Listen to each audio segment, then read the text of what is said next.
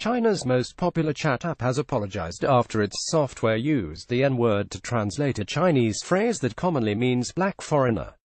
WeChat, which has almost 900 million users, blamed the use of the racial slur on an error in the artificial intelligence software that translates between Chinese and English. The issue was first noticed by an American living in Shanghai, Ann James, when her friend discussed being late in Chinese in a group chat. James used WeChat's built-in translation feature, which produced the message the nigger is late. If you're a black person in China, you've come up against some craziness, James told the news website Sixth Tone, adding that she is frequently touched and photographed in public. I know there's a lot of curiosity and a lot of ignorance about black people. In subsequent tests, users found the app used the racial slur almost exclusively in negative contexts, including with the words late, lazy, and thief.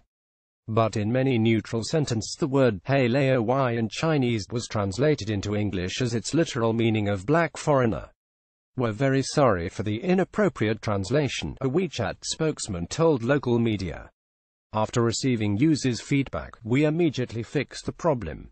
Tests by The Guardian showed the translation software had been retooled and no longer produced racial slurs. The company uses AI and machine learning, feeding computers huge amounts of data to train it to pick the best translations based on context. But the system also removes human oversight, leading to incorrect and even offensive words being used. This is not the first time Chinese companies and media have been accused of being tone deaf when it comes to race. Han people constitute approximately 92% of the population of China, and most of the country's ethnic minorities live in the far west, away from the populated cities along the eastern coast. Last year, a television advert for laundry detergent showed a black man covered in paint going into a washing machine and coming out as an sparkling Asian man. The video went viral around the world and caused outrage for its insensitive messaging.